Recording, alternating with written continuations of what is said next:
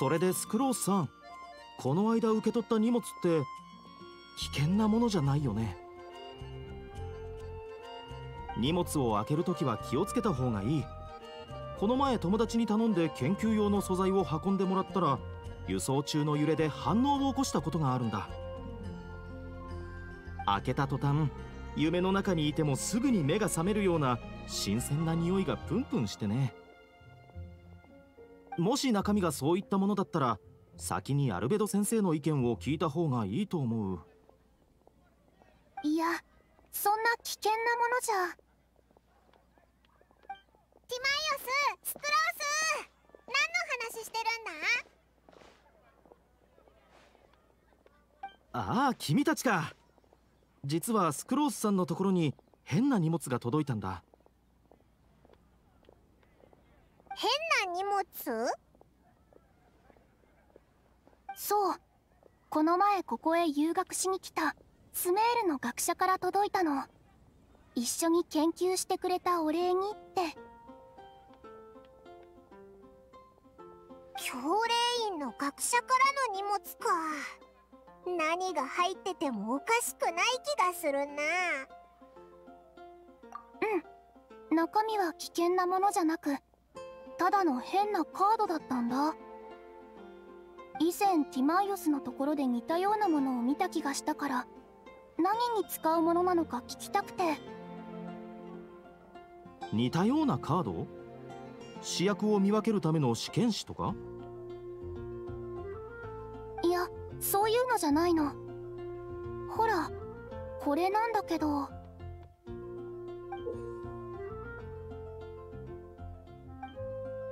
ああこのカードね。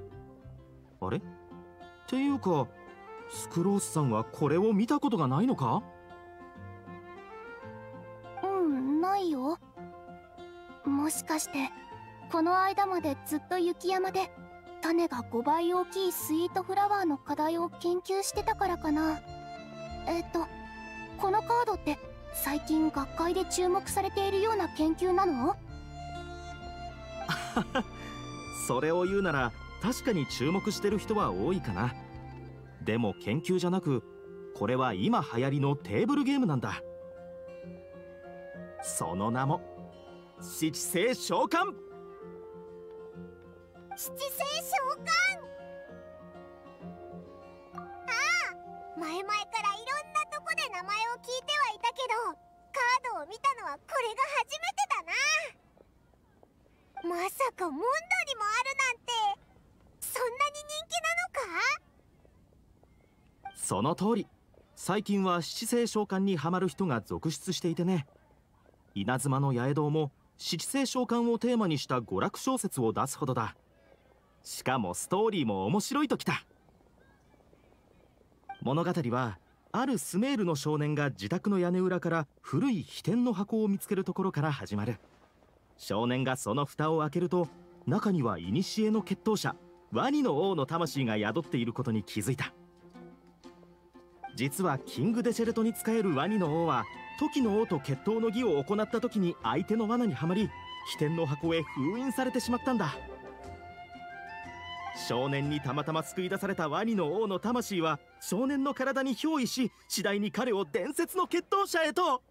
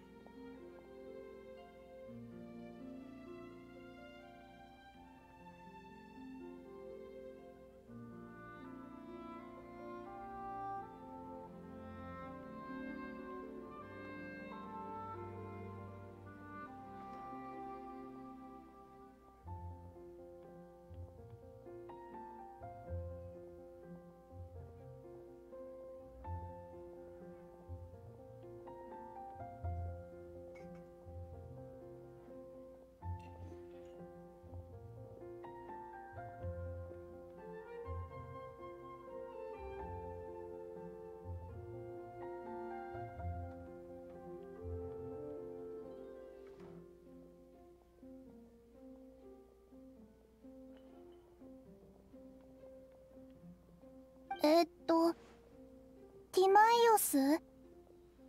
どうかした？スクロスさん。あ君もこの物語に興味が湧いてきたとか？なら原作を貸してあげるよ。この間プライベートな理由で研究レポートの締め切りを伸ばしてもらってたよね。あはは。この前のは確かにサボりだけどでも研究に新たな進捗がない限りしばらく七星召喚には触れないと決めたんだ。そっか。残念。ん？どうかしたのか？協力した学者がせっかく送ってくれたゲームだからその行為を無限にしないためにもせめてルールくらい知っておこうと思ったんだけど。あそう。スメールの学者が考案したゲームなんだし遊んだら賢くなれるんじゃないか？だってちょっと気になるだろ？うでもしばらく七星召喚を遊ばないティマイオスからは教えてもらえないよな。まあ研究の方が大事だからね。七星召喚のルールについて詳しく知りたいのならキャッツテイルに行くことをおすすめするよそうその店だ休憩時間になるとみんなキャッツテイルで七星召喚を遊んだりたまにお互いのカードを送り合ったりしてるんだ初心者にも優しいゲームのルールも一見複雑そうだけど慣れればすぐできるさ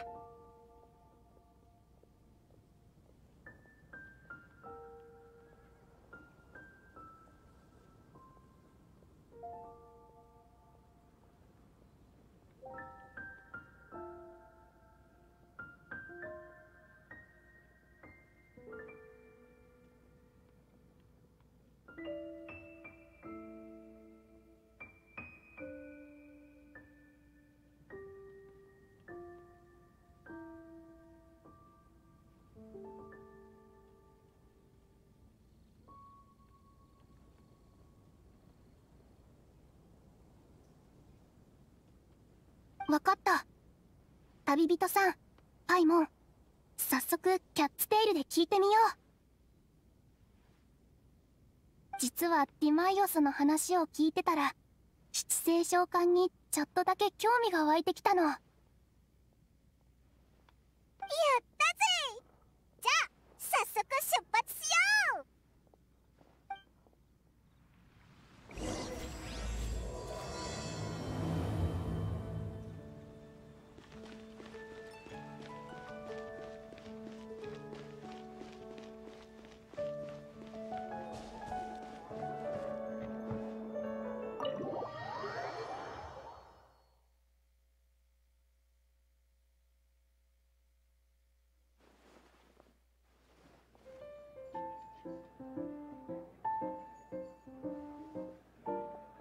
いらっしゃいませあら旅人にパイも。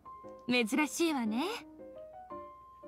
それと錬金術師のスクロースさんもお久しぶり。うん久しぶり。けど何度も言っているようにいくら出してもうちの店員の毛髪を買うなんて絶対ダメだからねいやマーガレットさん。今回はこの間の研究のために来たわけじゃないの。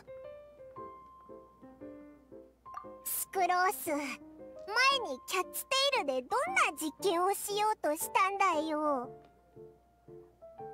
私はただある推測を検証するために必要な素材を集めようと。うん。この話はまた今度にしよう。マーガレットさん。実は今回七星召喚のために来たの。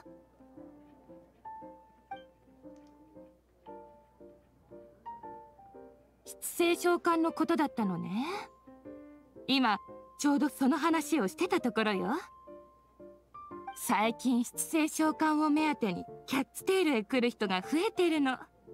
だからそういったゲーマーたちにサービスを提供するためスタッフを配置しようと思っていてね。そういえば君たちも会ったことがあるはずだわ。会ったことがある？リトルプリンスよ。ほらキャッツテールの猫がゲーマーの皆さんにサービスを提供するなんてぴったしだと思わない？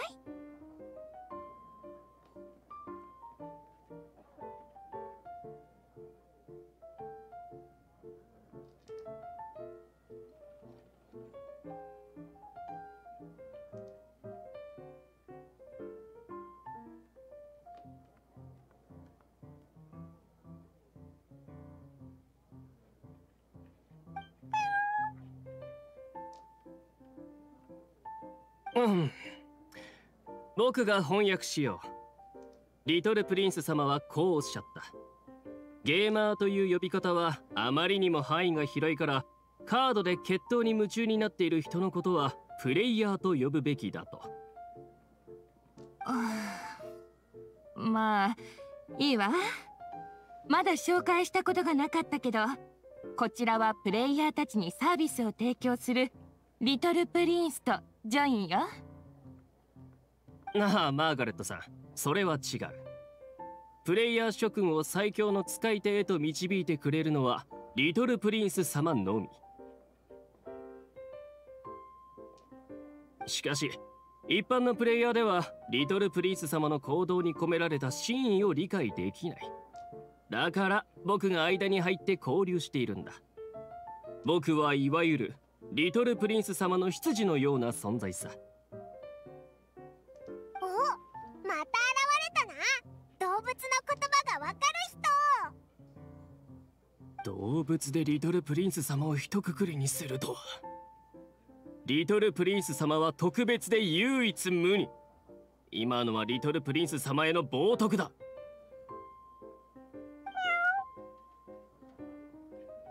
ん？何でしょう？ジョインよ。属性の凡人の目には我は普通の猫と変わらない。誤解されるのも常のこと。言い過ぎだおっとこれは失礼した。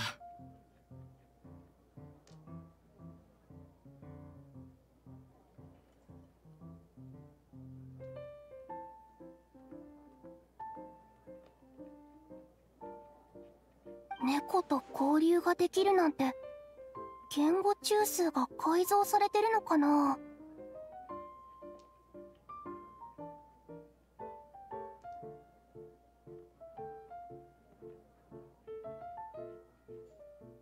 鳴き声一つでそこまでわかるのかよ。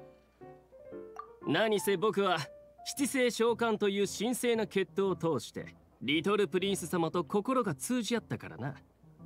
プレイヤーのみんなも決闘することで理解し合えるようになると信じている。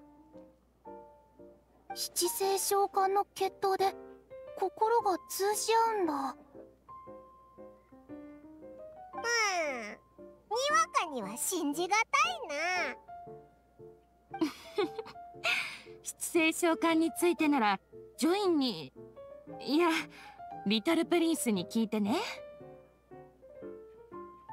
私が直々に説明してあげたいところだけどもう日課の散歩の時間だから。リトルプリンスと一回遊んでルールについて教えてもらって。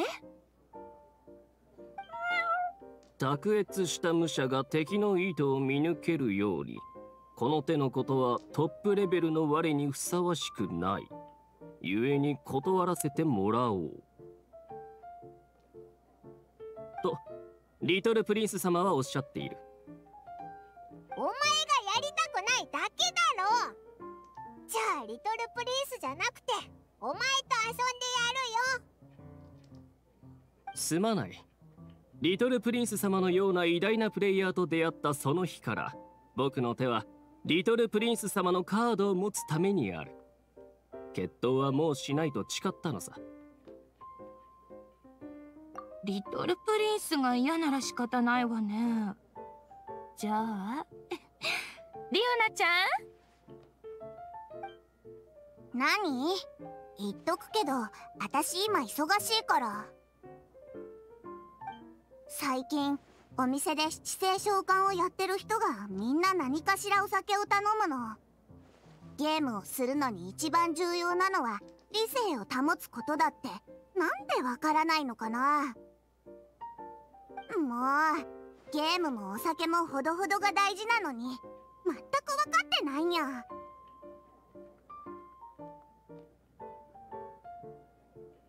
なんというかオーナーとしてはそういうニュースを聞けて嬉しいけど。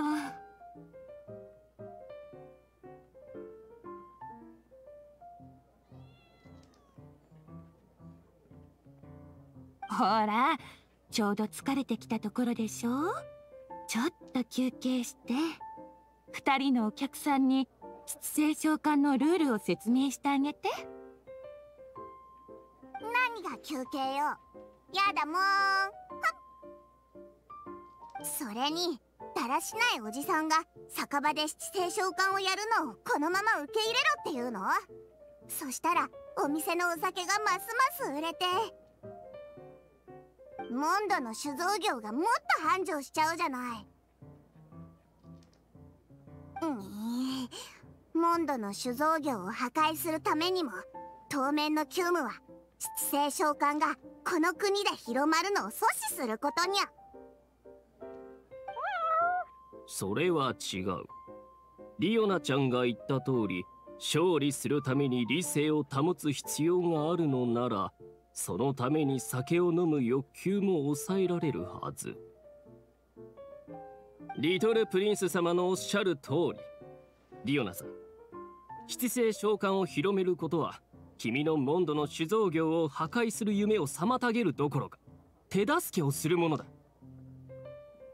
本当に？そういうことにしときましょう。ほらほらお客さんたちが待ちくたびれちゃうわよ。バーテンダーの仕事はしばらくジョインに任せていいから。ジョインの身にはより重い使命が。バーテンダーの仕事ジョインに任せたわよ。わかった。うん。それじゃあそこの空いてるテーブルに移ろっか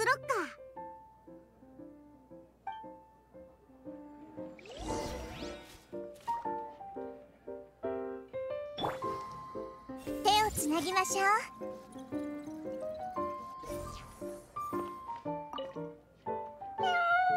リオナちゃんが待ってるから彼女からルールを学ぶといい。リトルプリンス様はそうおっしゃった。僕もお客さんのためにお酒を作らないと。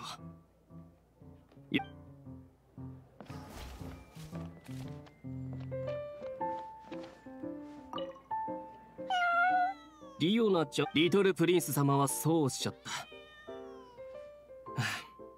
僕もお客さんのためにお酒を作らないと。横で見学できないなんて残念だ。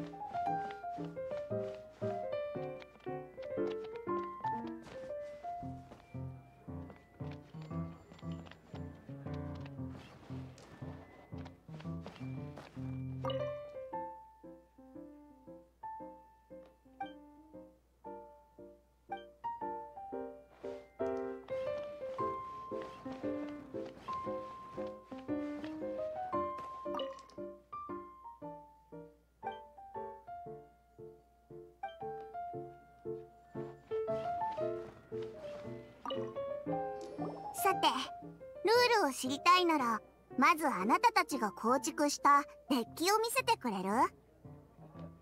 構築したデッキ？対戦に使える基本デッキのことだけど。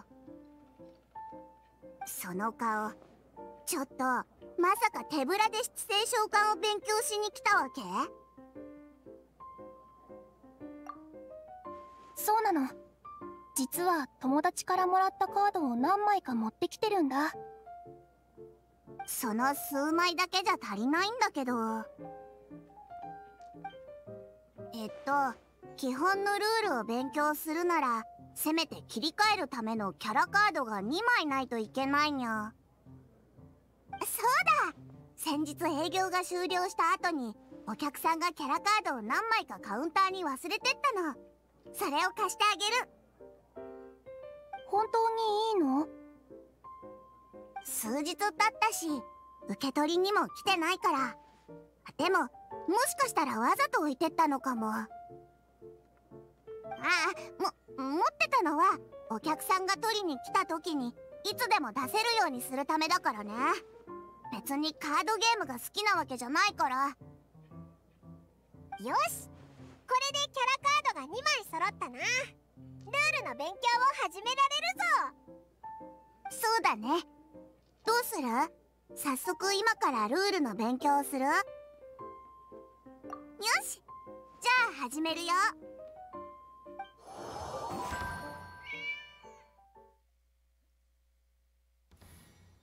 ふふん。七星召喚の世界へようこそ。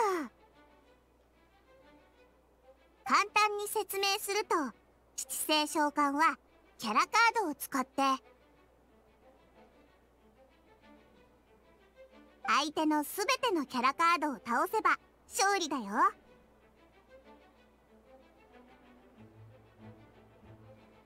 対戦が始まったら出撃キャラを1人選ぶ必要があるの。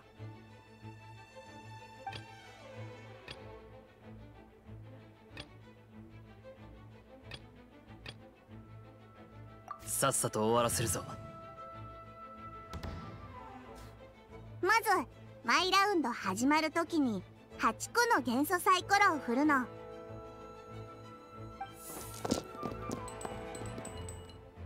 これらのサイコロは元素力に相当すると言えるにゃ。これを使って行動するの。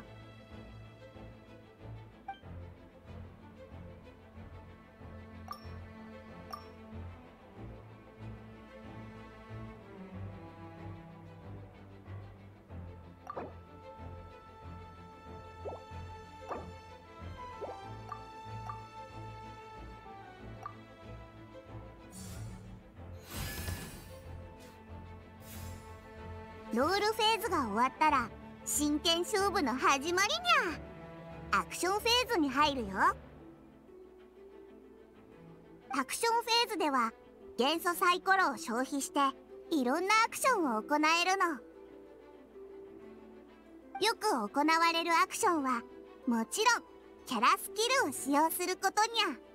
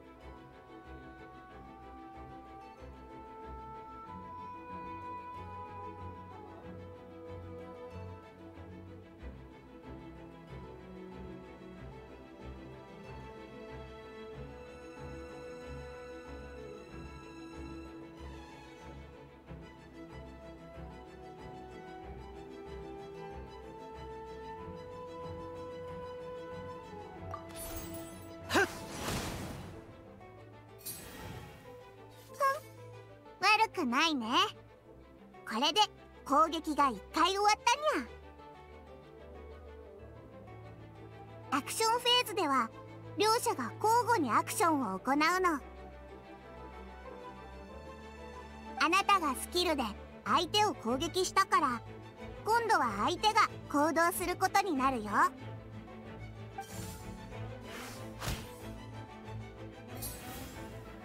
そして手の行動が終わったらまたこっちが攻撃する番。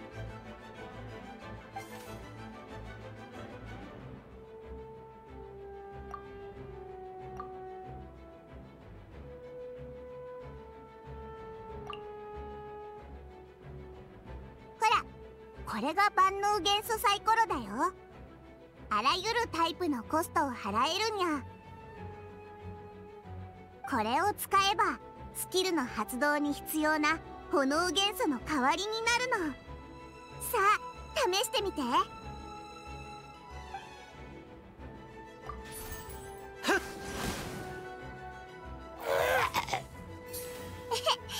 よくやったにゃ。これで敵を1人倒したね。でもゲームは始まったばっかりだよ。覚えてる？勝利条件は全ての敵を倒すことなの。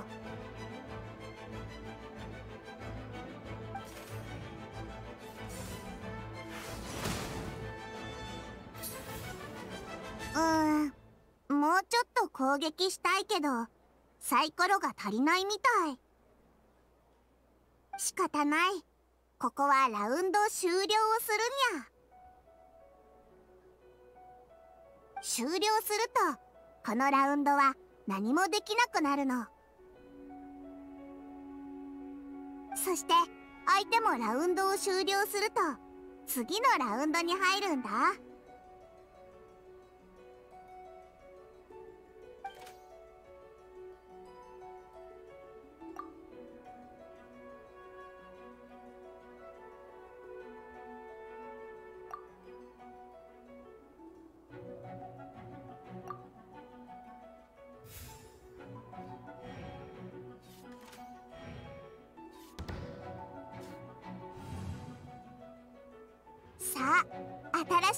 ドが始まるよ。新しいラウンドになったらまたサイコロを振ることになるの。十分な元素力があって初めていろんなことができるからね。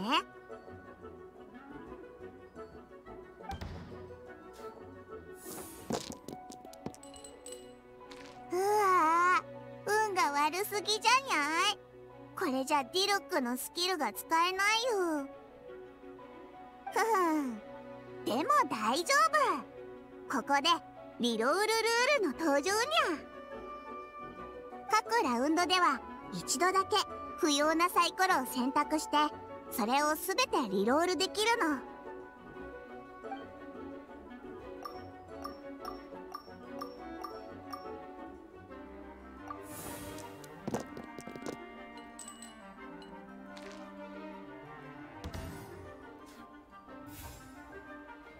フェーズの開始にゃ。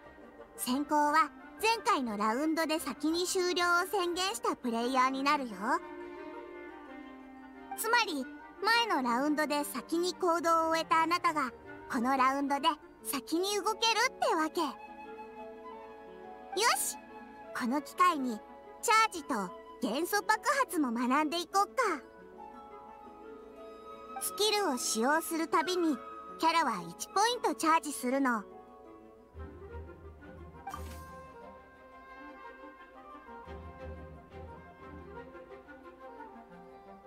リルックのチャージがマックスになると強力な元素爆発を発動できるにゃ。でもチャージ完了まであと1ポイント足りないみたいだね。こういう時は通常攻撃を使ってみて。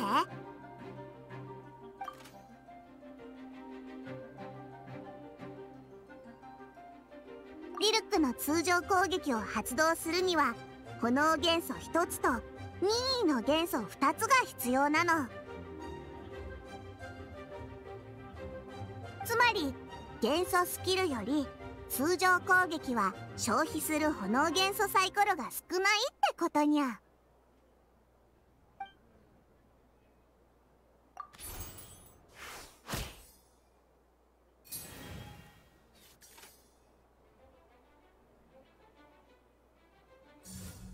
Huh.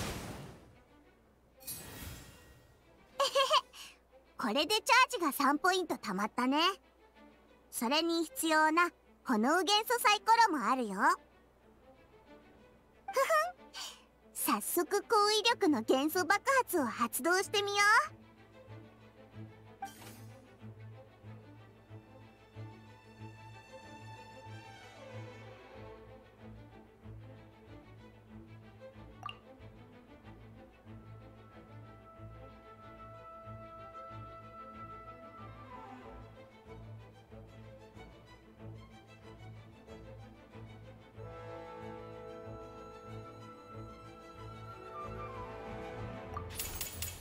火炎よ。燃やし尽くせ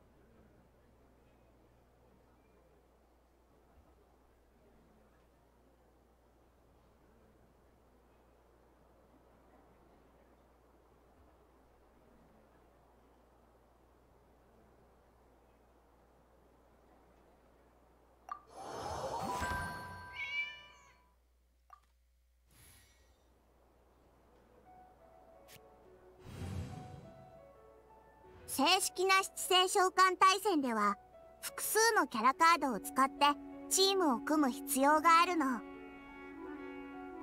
そこで登場するのが2枚目のキャラカード。ガイアにゃ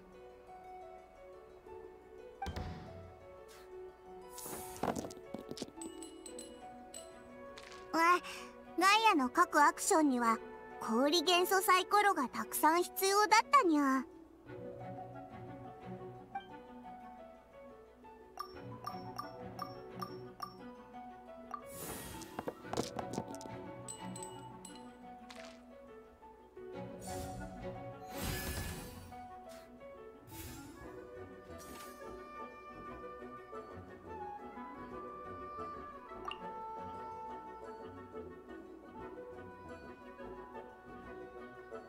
氷元素ダメージを与えた後氷元素付着が発生する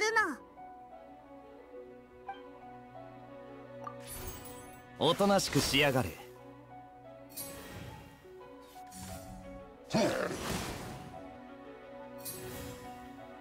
し。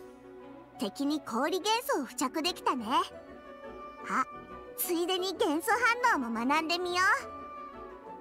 各種元素ダメージは敵に対応する元素を付着させるの。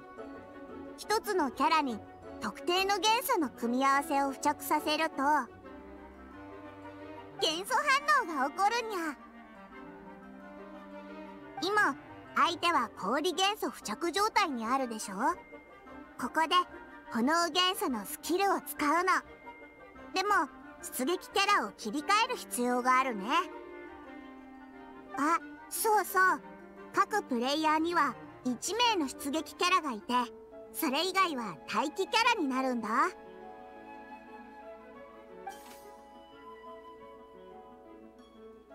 通常使用できるスキルは出撃キャラのスキルのみだよ。うん待機キャラのスキルを使うにはまずそのキャラを出撃キャラに切り替えないとだね。例えば今の状況でリルックのスキルを使うには彼を出撃キャラに変更しなきゃいけないの。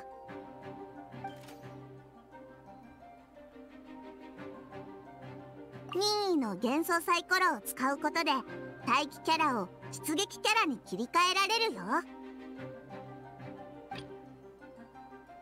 行こうか。スキル発動と同じでキャラ切り替えを行うと相手が行動する番になるんだ。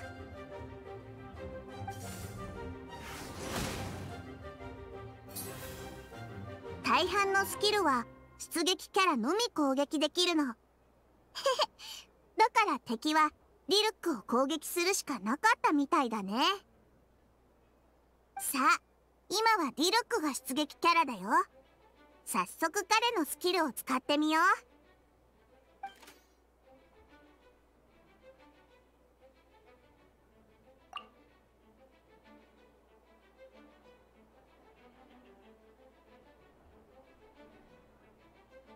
氷元素付着状態の敵に炎元素ダメージを与えると元素反応妖怪を起こせるの。妖怪反応を引き起こしたらダメージはプラス2されるにゃ。これで一気に大ダメージを与えられるよ。七星召喚の元素反応ってすごいでしょ？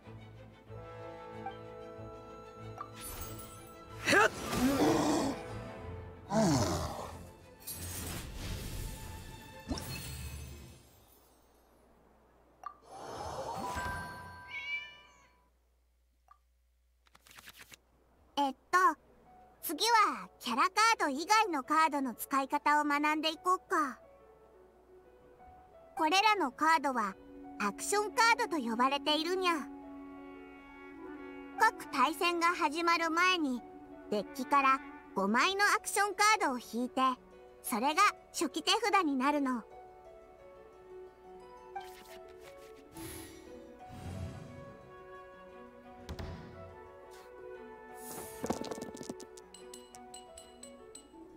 うえ攻撃に使える元素サイコロがないにゃんて。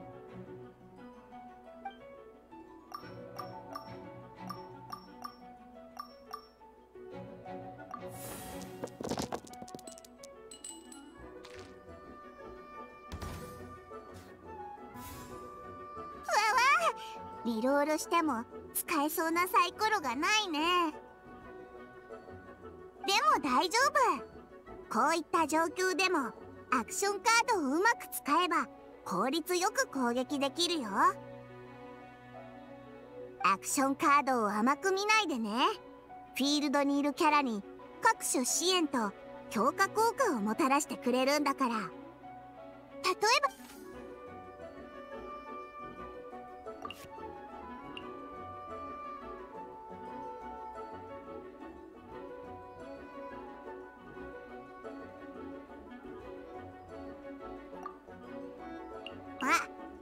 クションカードを発動するにはこれが2つ必要だね。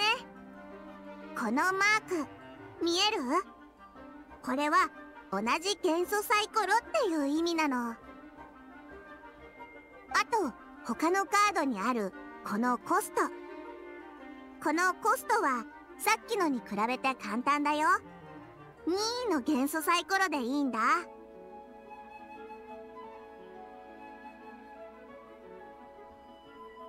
また機会があったら説明するね。今はこのアクションカードを発動してみて。う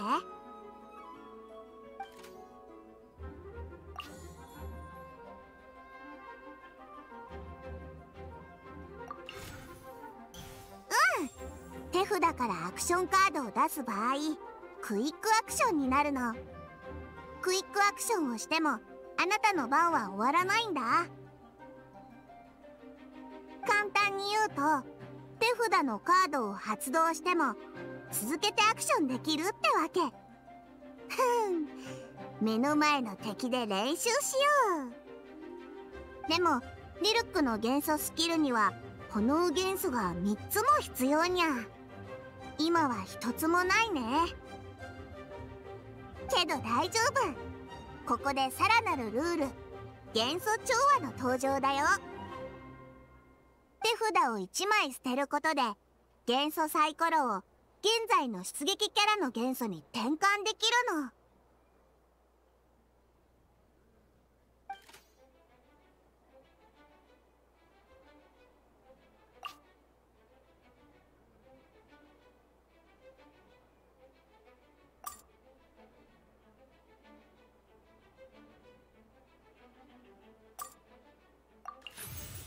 欲しい元素サイコロが来ないと思った通りに行動ができなくなる。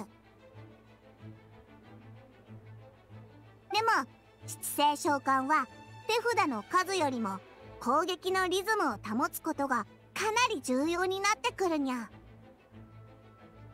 こういう時はふふん。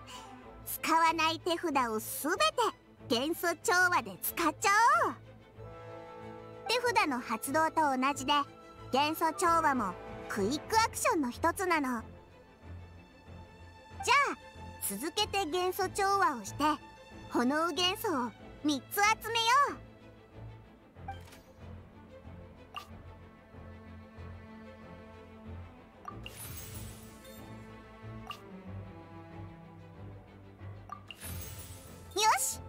これで逆縁の刃を使うために必要な元素サイコロが揃ったね。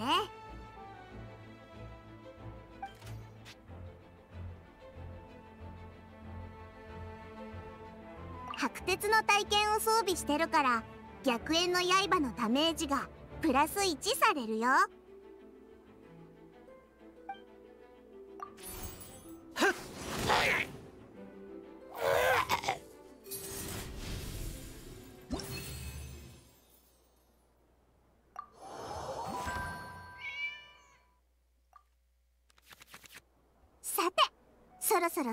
のレクチャーだよ。正式な対戦では初期手札を調整することができるの。ミニの枚数の手札を山札に戻して同じ枚数だけ手札を引き直せるんだ。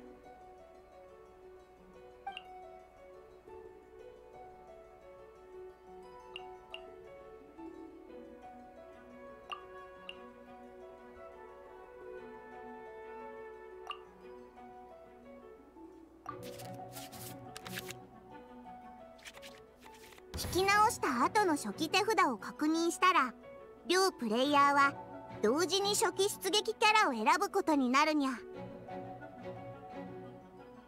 今回はヤバそうなやつが出てきたね。ふんさっさと倒しちゃおう。あなたの腕を見せてもらうね。えっと最初は初期出撃キャラを選ぶところからだよ。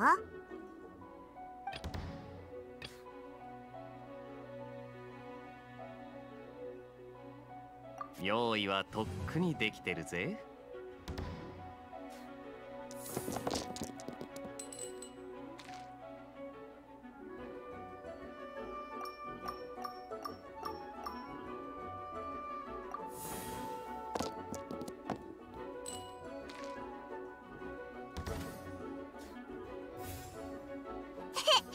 サイコロを振る動作が様になってきたね。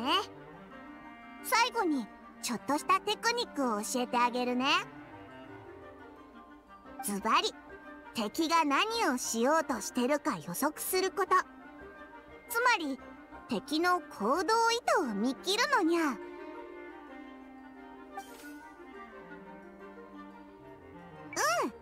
ここでそのラウンドの敵の行動意図が全て読めるようになるよ。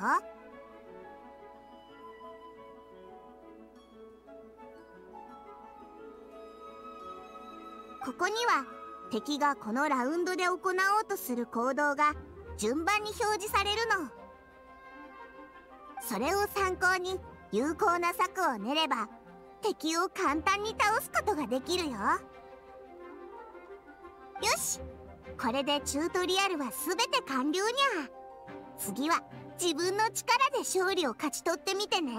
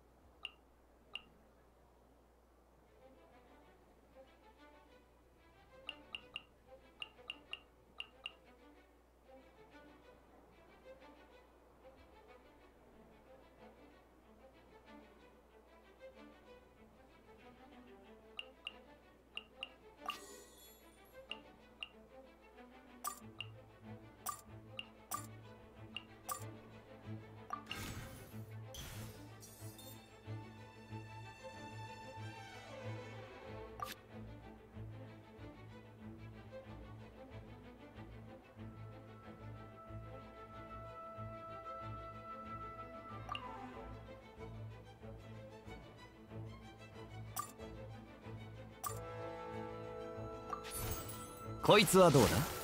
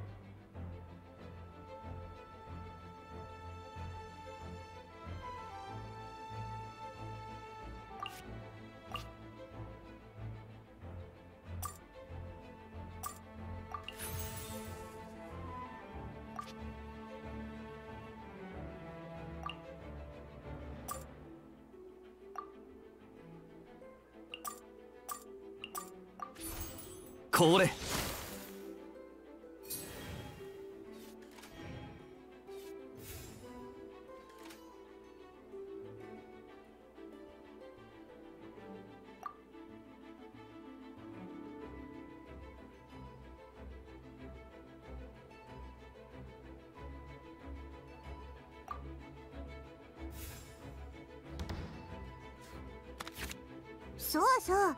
言い忘れたことがあったにゃ。エンドフェーズごとにアクションカードの山札からカードを2枚引けるの。ちゃんと覚えておいてよ。元素サイコロと手札の力を十分に発揮したプレイヤーだけが勝利を手にすることができるんだから。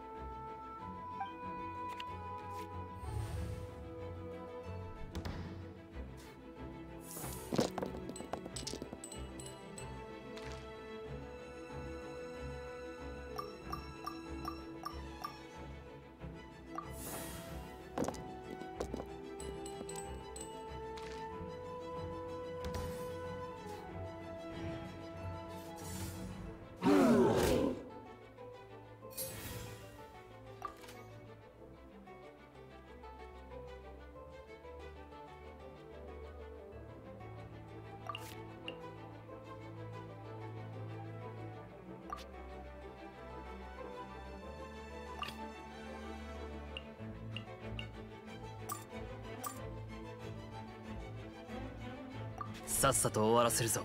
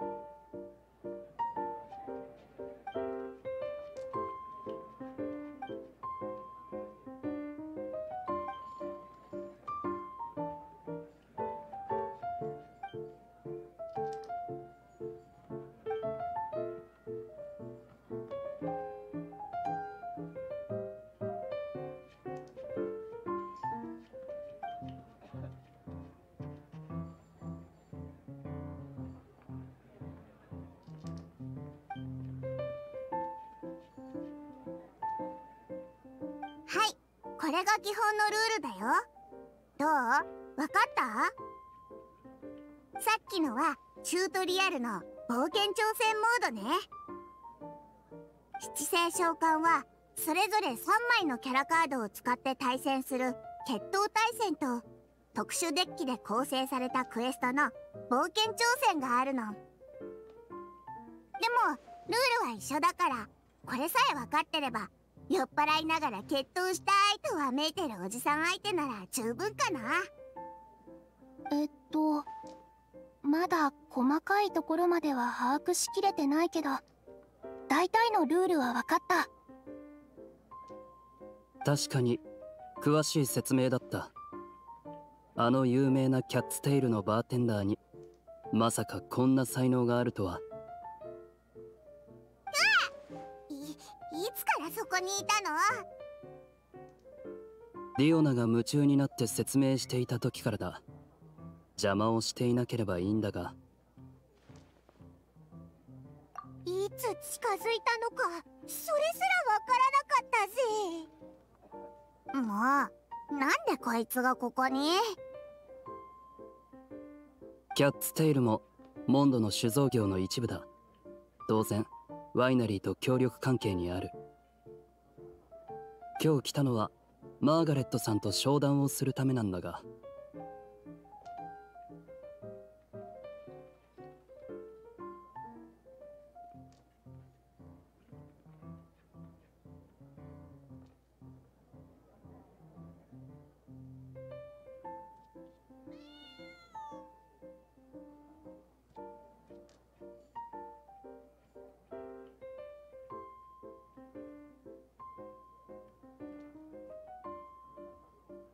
の人ならここにいないよ。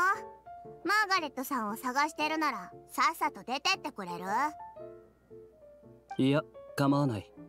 急を要する商談じゃないからね。それよりも君たちがレクチャー用に使っていたそのカードの方が気になる。えっとこのカードはリルックのキャラカードだな失勢召喚については知っていたがこのカードを見たのは初めてだ。このカードは先日あるお客さんがキャッツテイルに来た時に置いてったものなの。でもあのお客さんカードで遊んでなかったみたいだけど。うん。どんな客だったか覚えているか？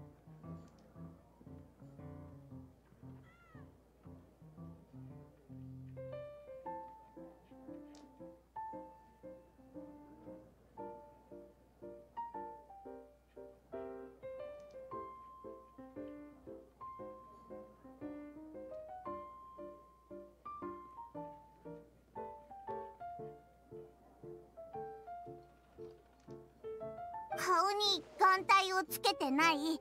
肌が雪のように白い。真面目な表情でお酒を飲む時には一言も喋らずずっと黙ったまま飲んでる。知らない人だったよ。全然知らないやつだから。なるほど。眼帯か。うー真逆のことを言おうとしたら緊張して口が滑っちゃった。ごめんなさい護衛隊長。平気さ。それにあいつはもうそんなことを気にする暇もなくなるだろじゃあこのディルックのキャラカードは？う大丈夫。ただ僕をイメージしたカードというだけだ。でもまさかリルックさんも七星召喚を知ってるなんて。近頃流行りのゲームだからな。ルールも格別に面白いものだ。最近はたまにエンジェルズシェアのお客さんと勝負することもある。僕もそのつもりだったが僕をイメージしたカードがキャッツテイルに残されていたのはいささか興味深い。そろそろ帰る時間だ。一度関係者にじっくり話を聞いてみないと。僕との決闘はしばらくお預けだ。ああじゃあ僕はこれで。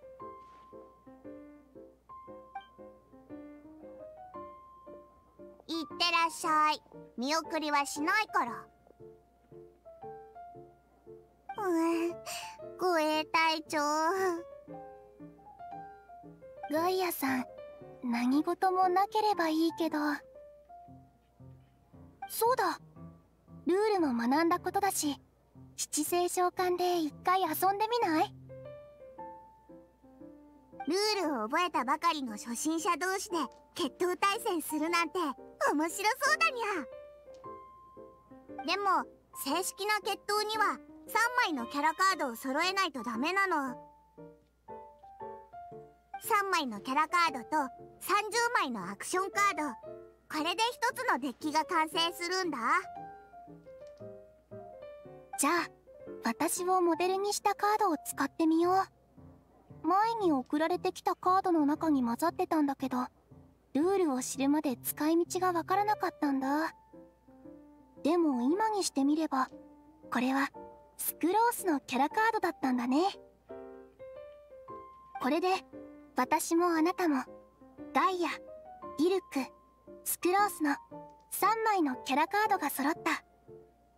試しに決闘してみよう。うん。それじゃあ今から決闘を始めよう。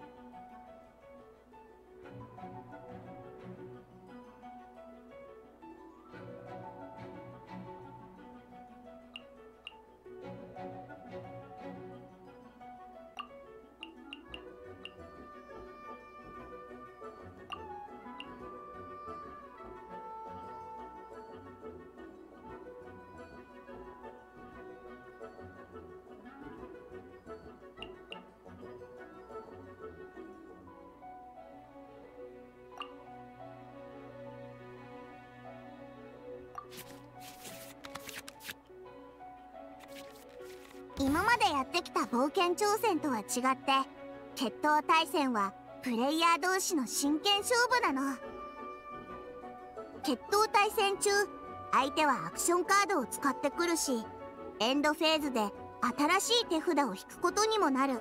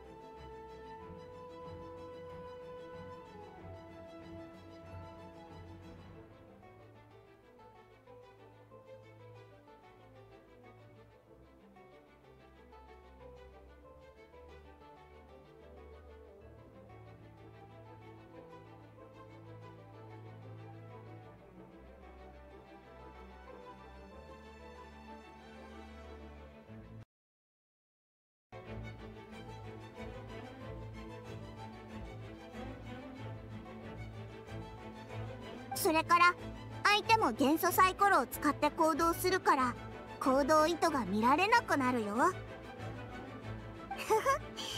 早速スリルいっぱいの初心者対戦を始めてみてね。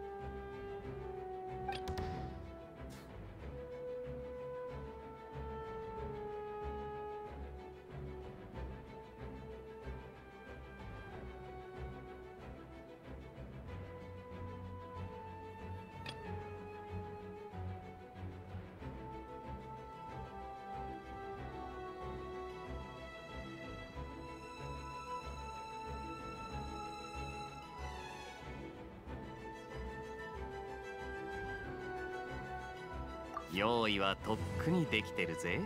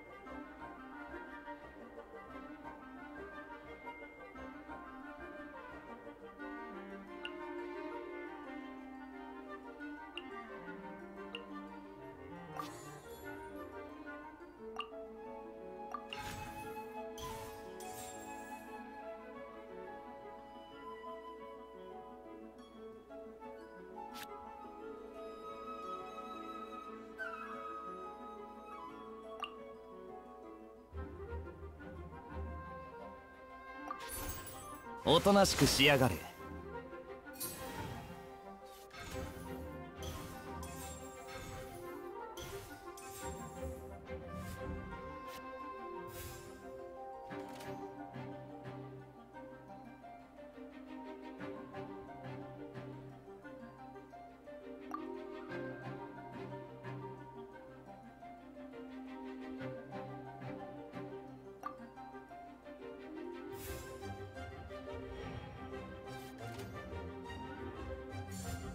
こいつはどうだ？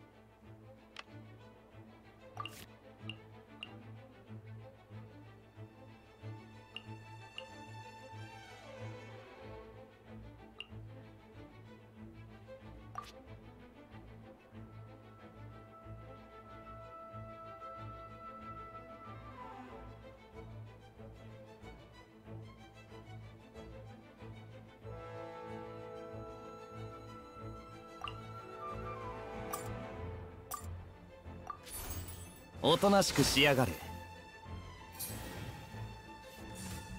おとなしくしやがれ。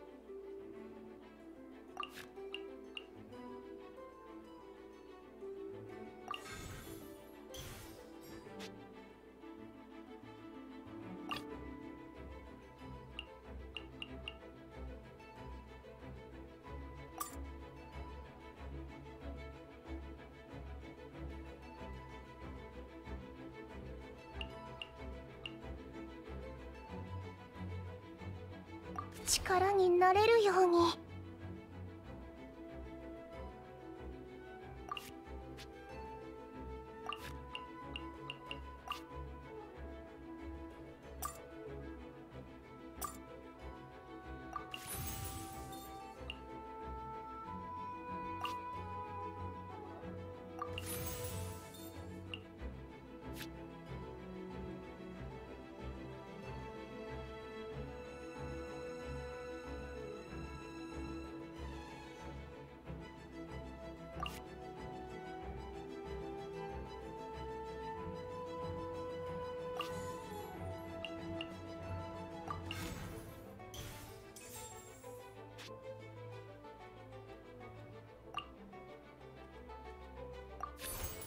安全距離確認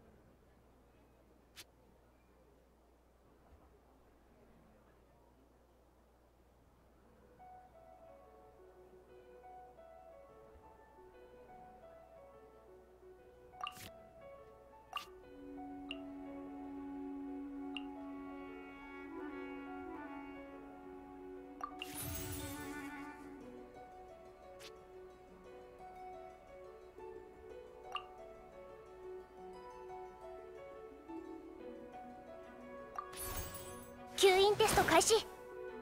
さまあない。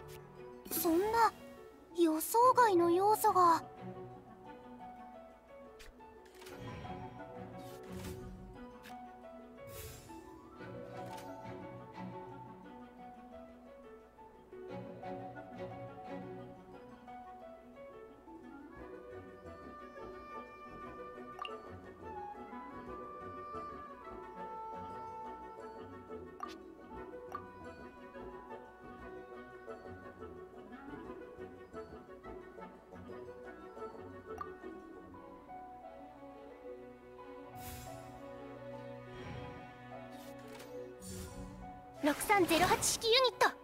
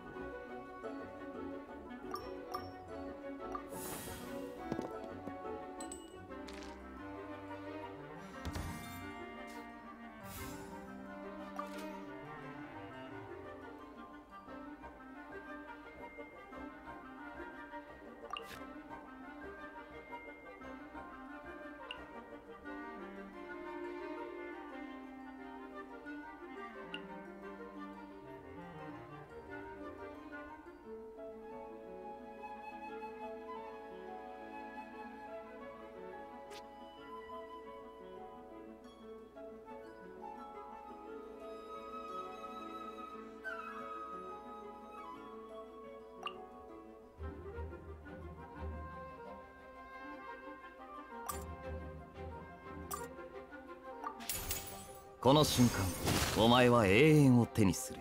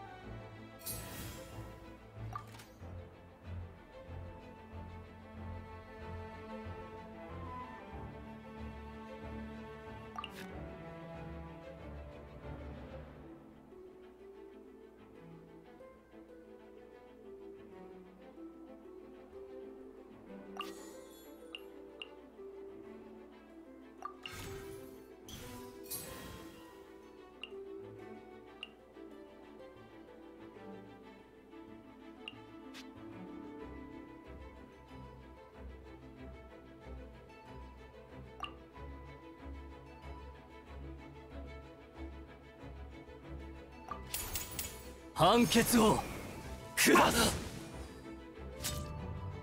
敗者には言い訳の余地もない。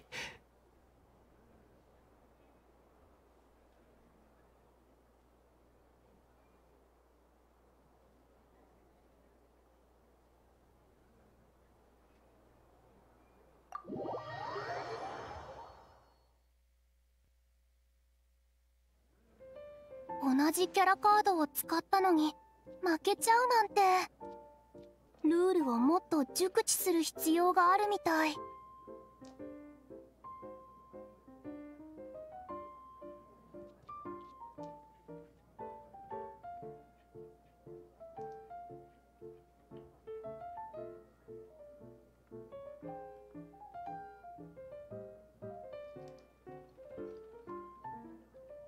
対戦中の取捨選択が難しいね。2人の待機キャラの腕を全部出撃キャラにつけることができたらいいのに。そんなルールないからスクロースさん。負けたら潔く認める。これもテーブルゲームのマナーだよ。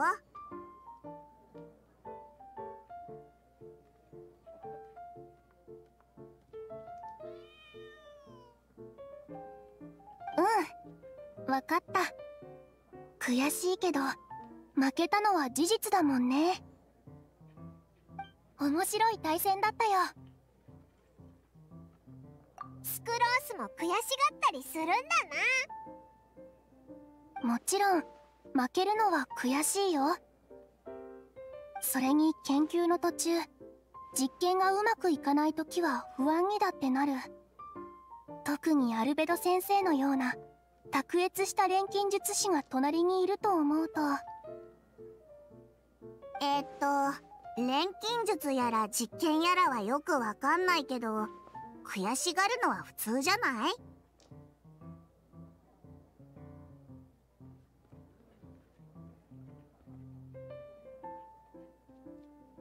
カードゲームも一緒で負けたらリベンジしたい。勝ちたいから腕を磨いてもっといいデッキを構築したいと思うんだよ。うん。技術経験。それらを全て手中に収めてそして勝ち取るのが七星召喚の一番楽しいところなの。ずっと勝てなかったら？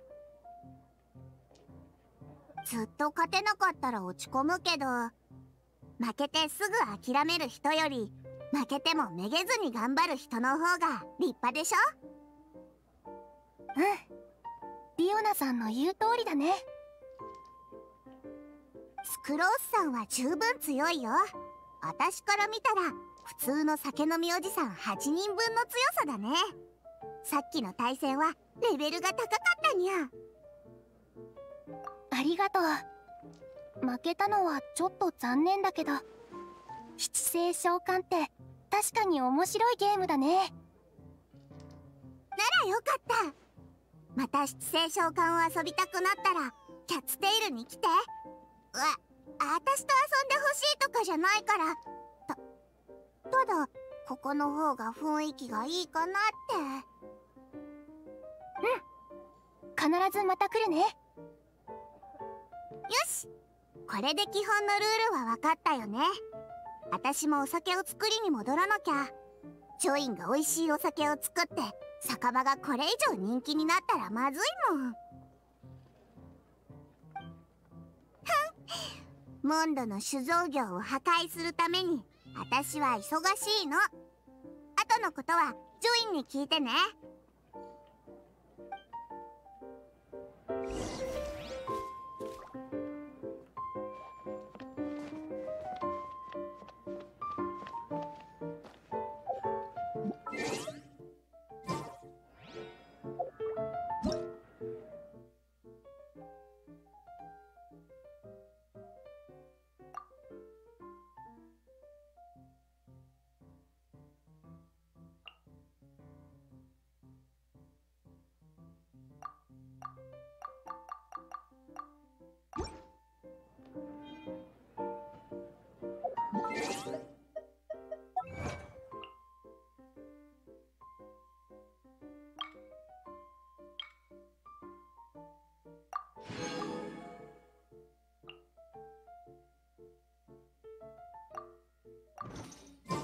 り自分の目で見てこそ。なるほど。七星召喚のルールについてもう理解したか。ふふ旅人もスクロースもオイラも。もう立派なプレイヤーだぞ。おオイラはお前とスクロースがやってるところを見て十分理解したんだプレイヤーになるのはそう簡単なことじゃない。汝らの試練には続きがある。今はまだ真のプレイヤーとは言えない。とリトルプリンス様はおっしゃっている。でも確かに七星召喚プレイヤー協会が認める正式なプレイヤーになるには試練をクリアしなければならない。なあ難しくはないが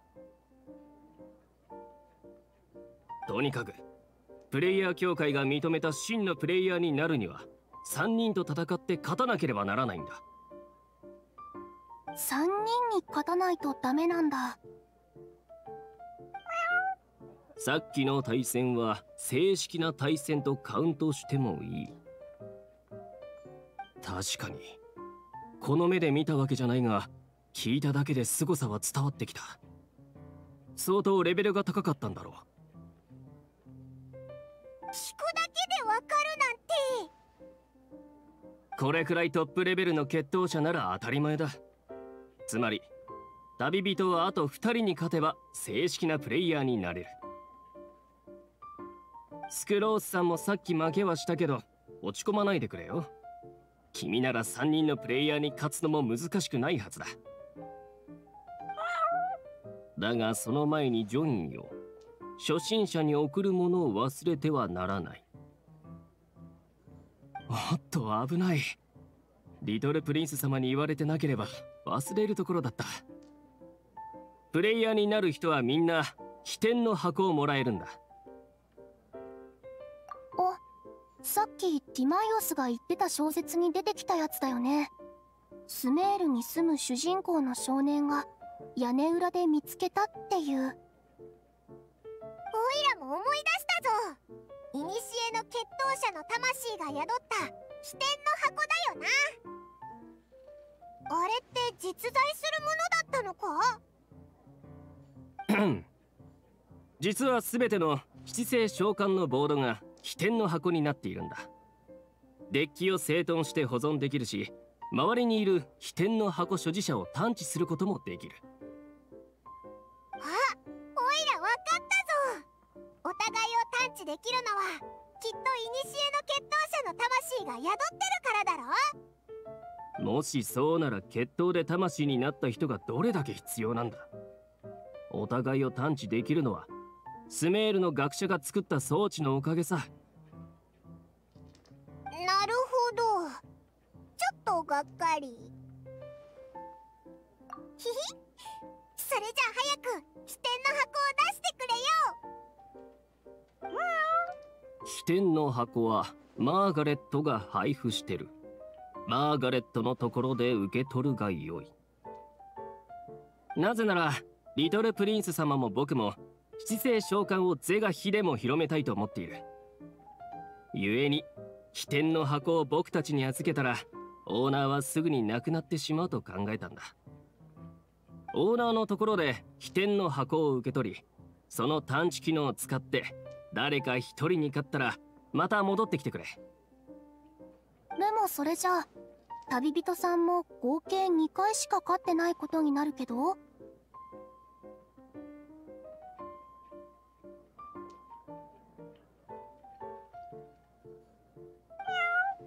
正式なプレイヤーになるための最後の相手は我が招待しよう。それは必ず汝の実力にふさわしいプレイヤーでないとならぬからな。というわけで皆さん七星召喚の対戦を楽しんでくれ。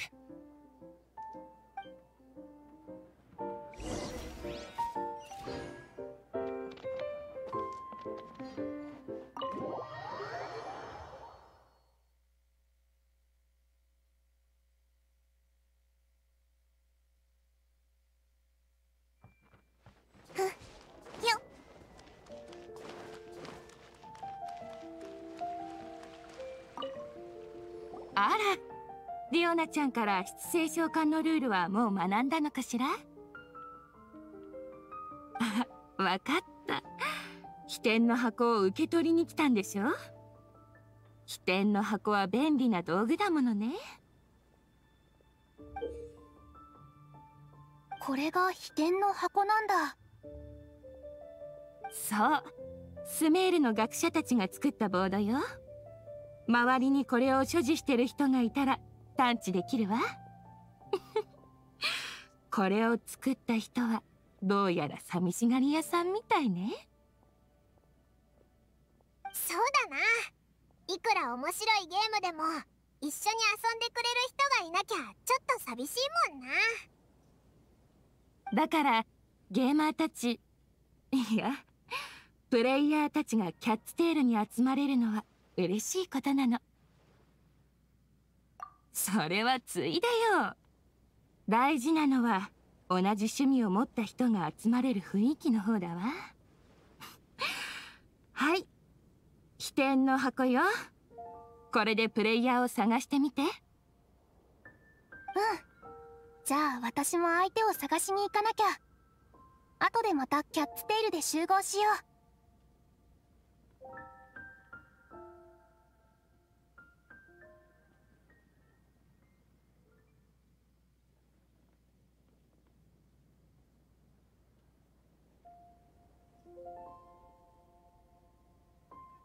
ありがとう。私頑張るよ。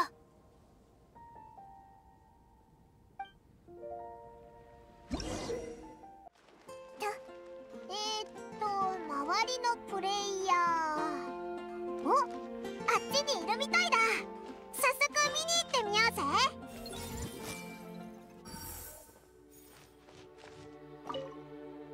あお前だったのか。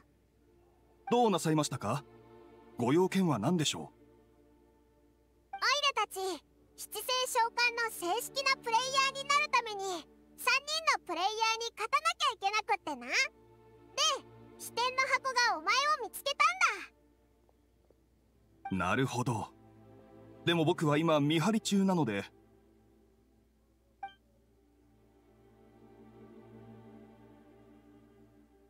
こんな時に騎士団ガイドを持ち出すとは仕方ありません。それでは七星召喚で決闘しましょう。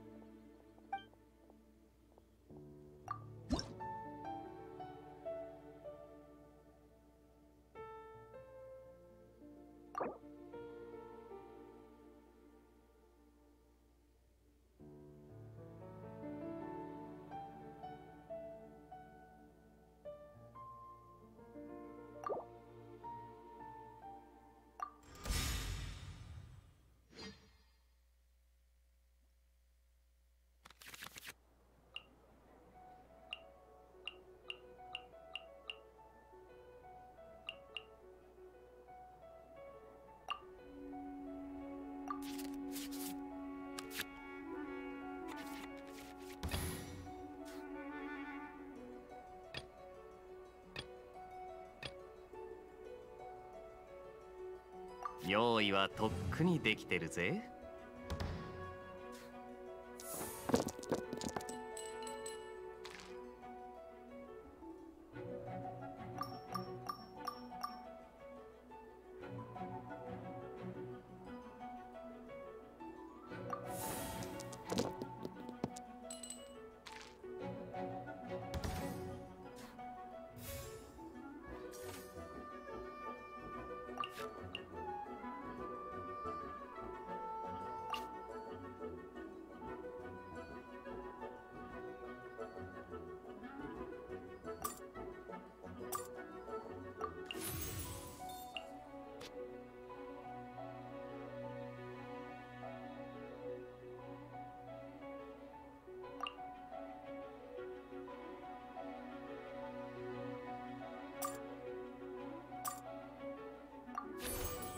おとなしくしやがれ。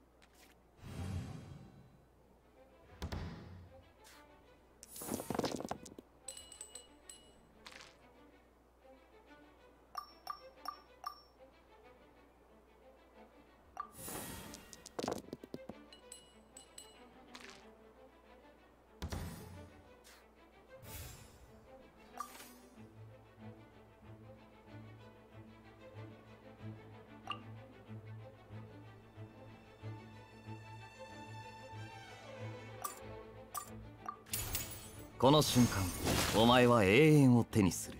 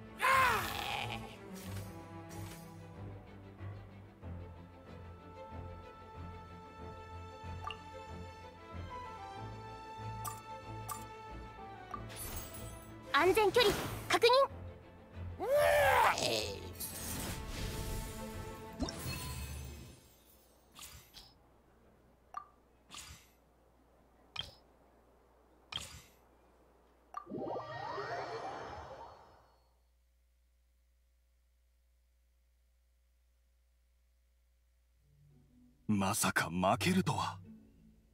あなたたち本当に七星召喚の初心者ですか？こんなに強いとは思いませんでした。今度時間があったらまたやりましょう。ただやはり見張りの仕事が終わってからにしていただけると。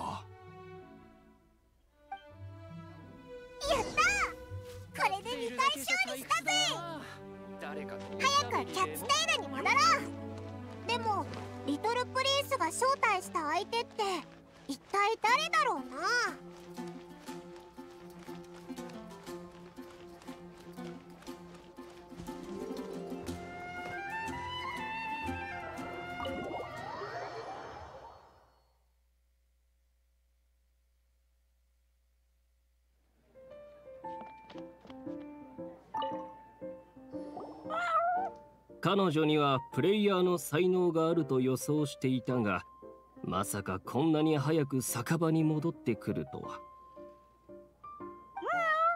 我が招待したプレイヤーに勝てば正式なプレイヤーになれる。どんな対戦になるか楽しみだ。リトルプリンス様はもちろん僕も非常に楽しみだ。さあ招待したプレイヤーはもう部屋で待ってる。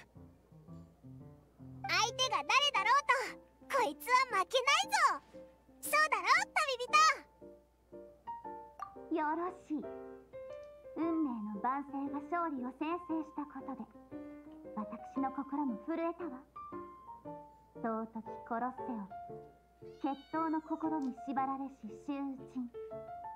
なんとふさわしいのかしら。偉大なる勇気ある挑戦者よ前へ出なさい。この皇女が謁見の間に入ることを許そう。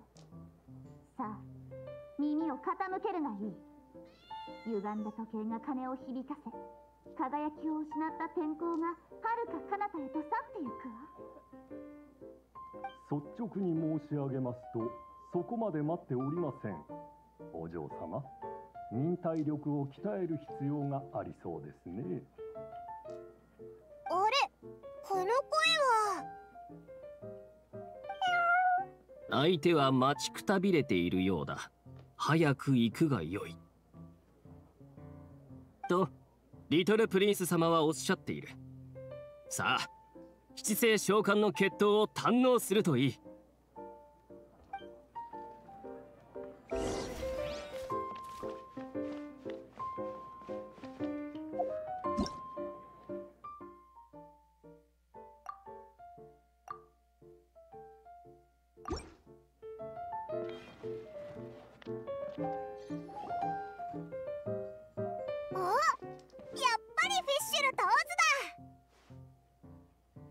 にも。七星召喚はその名の通りこの世の七星の名をもって勇者に栄光の冠を奪取するよう命じる至高の秘技。一歩間違えれば未来永劫取り返しのつかなくなるような複雑な工程もあるわ。故に慎重に取り組まなければならない。大元無神羅万象狂気断罪眼を持ち三千世界と旋盤の戦場を遍歴したこの公女ほど謁見の間にふさわしい人物はいないはずよ。そそうなのか？はい。お嬢様は多くの方々が七星召喚をプレイするところを見てルールを熟知しております。初心者同士の決闘ならルールを熟知している人が相手を務めた方がいいでしょう。それもそうだな。そっか。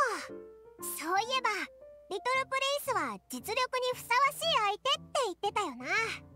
つまりフィッシュルも七星召喚の初心者なわけだ。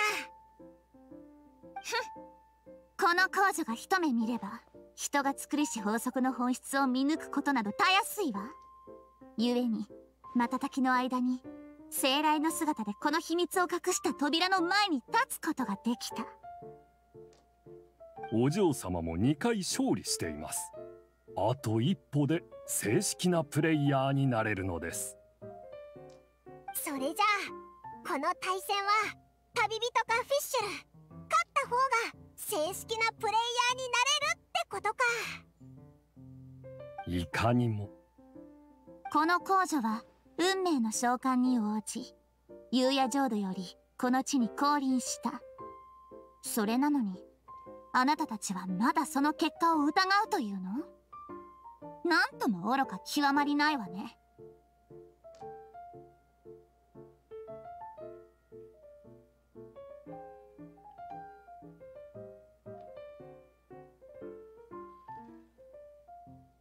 お嬢様大口を叩きすぎると負けた時みっともないだけかと。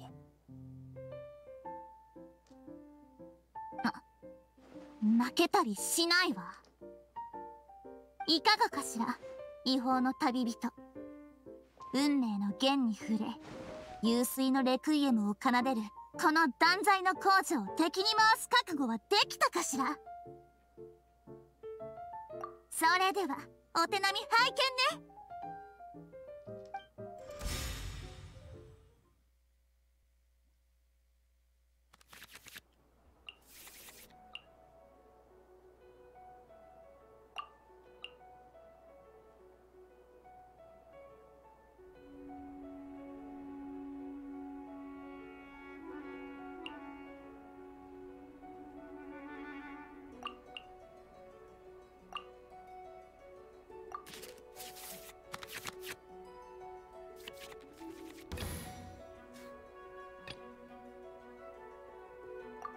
白いものを探しに行こう。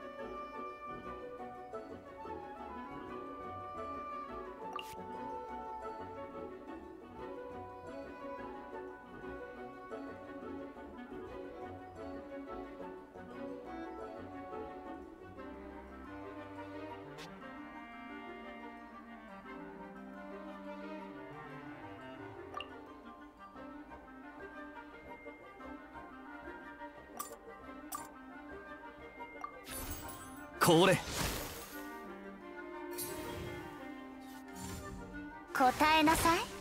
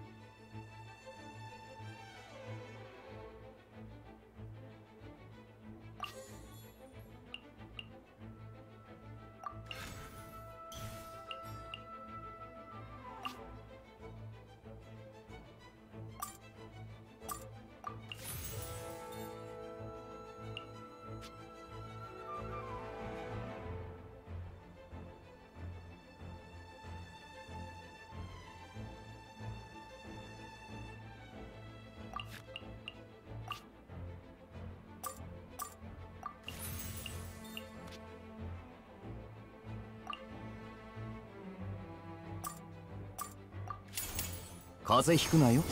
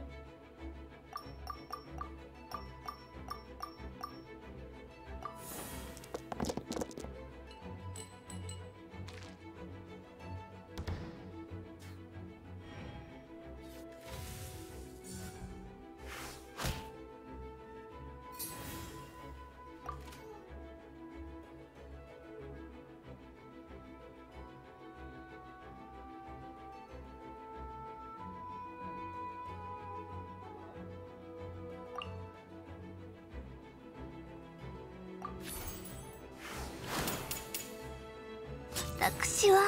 これは勝利を手にするためのちょっとした必要な犠牲よ。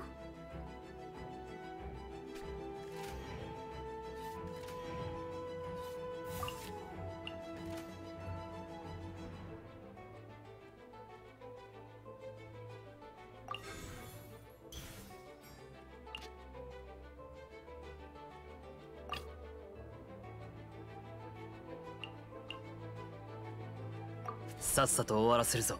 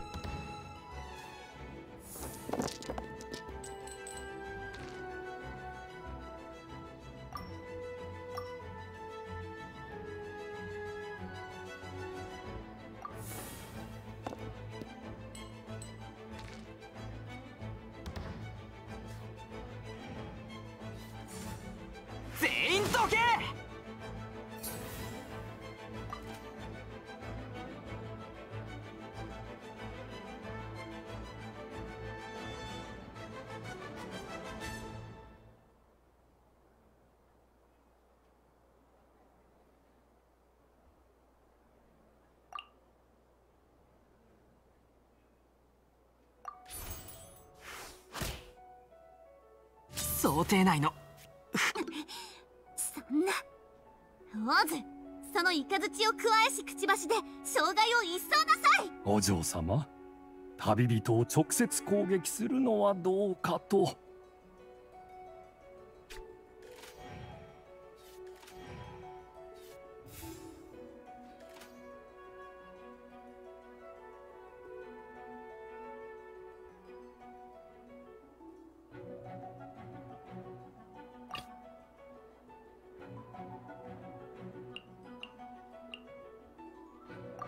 面白いものを探しに行こう。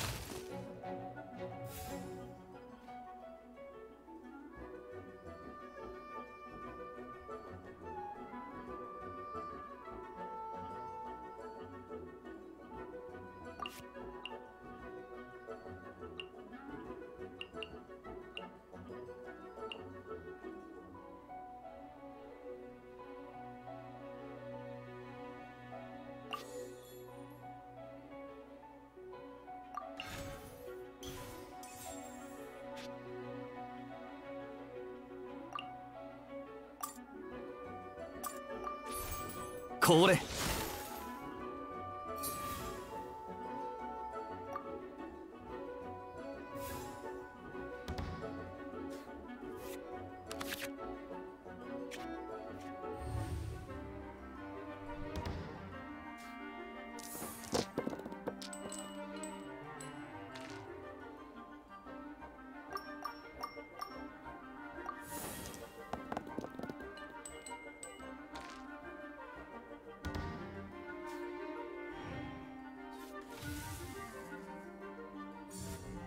これ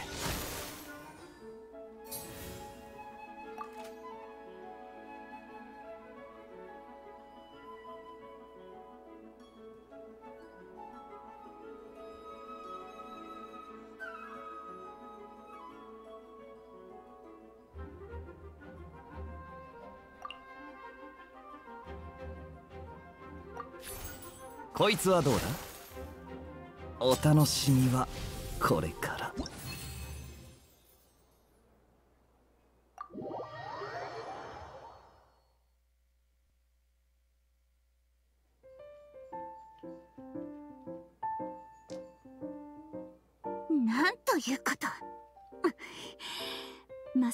頃邪竜の正気を受けたせいで因果の糸が私の目に暗く映ったのかしら。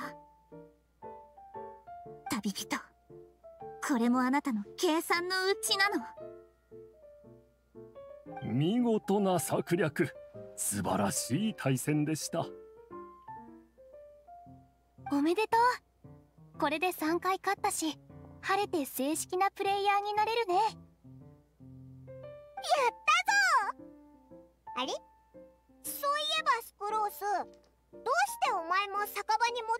てるんだ？はもしかして。うん。私も2回勝ったんだ。それで酒場に戻ってきたらあなたたちが最後の決闘を行ってるって聞いて見に来たの。そっか。スクロースも2回勝てたんだな。よかったぜ。ふん。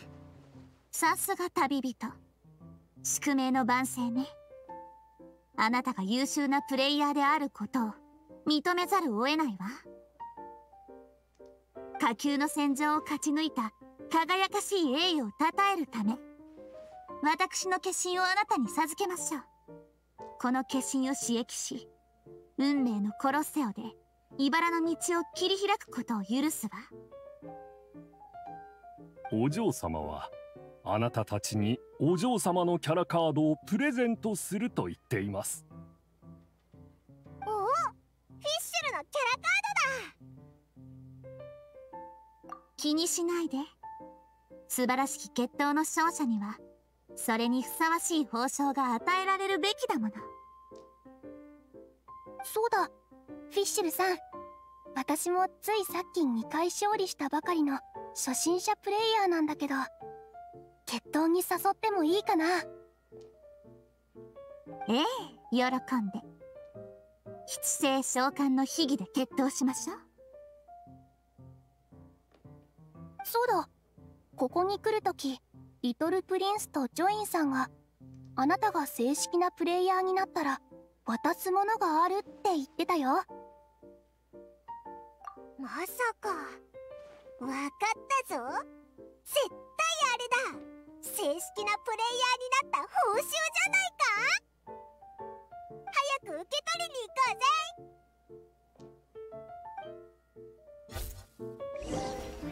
雷サイコロを3個消費し我がしもべを召喚する。いでよ永遠の眷属オズバルド・ラフナビネスお嬢様私でしたらここに。だから七星召喚のオズよなら私は根源肖像論を使用して大型風霊を召喚する。風以外の元素が付着した場合ダメージがアップするから。なるほど。だがこの工場そのような攻撃で動揺など。